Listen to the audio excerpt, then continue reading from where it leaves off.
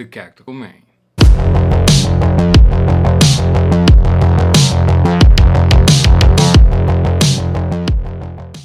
Alright, today we have us a wonderfully broken in pair of Red Wing 875s. Look at these beautiful boots. Oh yeah. Here we go. Trying to get them all in frame. But we are not actually here to look at the boots and what they look like when they're broken in. Uh, you can tell I, I do a little bit of moto shifting on that one. I don't know if the light's going to let you pick it up or not. But what we're here for today, and this is why you clicked on the video, is how to properly size Red Wing Heritage moc toe boots, whether it's the 875 or any of the other different leather slash colorways available.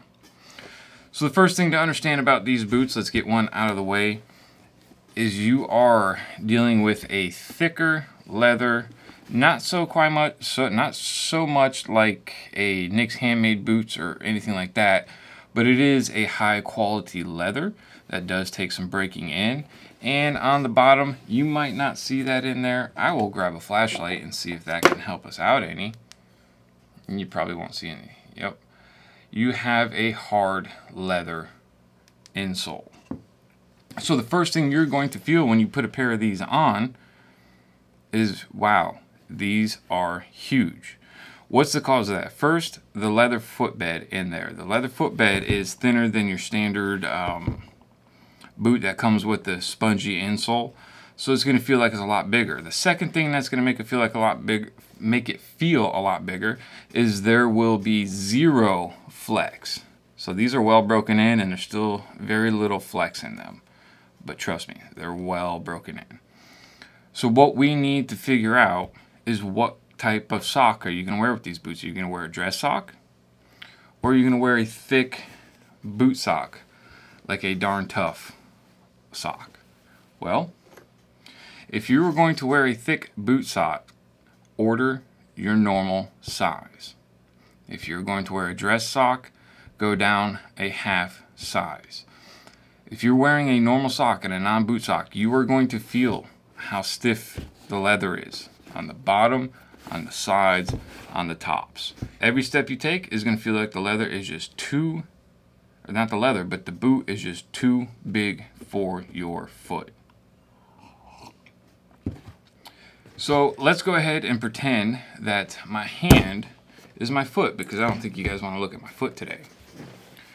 Here's my hand. You get, or my, my foot, you get your foot in the boot. With the leathers being so stiff, it's to feel like your foot's just moving around in it everywhere. When you put your foot down in there, lace up the boots, put your foot on the ground, and can you push your foot forward? If you can push your foot forward, I'm not talking a little quarter of an inch, I'm talking a half inch or more, you can slide your foot forward, the boots are too big. If you cannot, and you have plenty of toe room, the boots are perfect. Now I have a, a, a, weird thing that apparently a whole lot of people have is my right foot is bigger than my left foot. I don't know if we'll be able to depict it, but I don't know if I can get the lighting just right in here. It's hard to tell on the viewfinder. Right here, my, my right foot has pushed out and is broken in the leather. So this was a little bit tight on me. The left boot has been perfect. It breaks in. So, to reiterate, what kind of socks? Are you going to put insoles in? If you're putting insoles and you're wearing boot socks, get your normal size. Go down a half size if you're going to wear normal socks. Check to see. Lace, lace your boot up on your foot. Stomp your foot on the ground and try to push your foot forward. If it doesn't go forward, you're in the right size as long as it's not too tight on the sides on you. Another thing, when you're laced up, put your foot down on the ground and try to move like this. If you can literally move like this inside your boot, it's too big. Try a different size. And that is all we're going to talk about today. Hopefully I was able to help some people uh, understand the sizing. Just know that these are going to feel way different than any other normal boot, especially boots that have lining on the inside and the lining fills up all the tiny little gaps. Trust me, if there's tiny little gaps anywhere and it's just feeling weird, when it breaks in, you won't feel those gaps anymore. Just got to remember, it is the leather. It takes time to form to your foot. If you get the fit right, you will love the boots forever.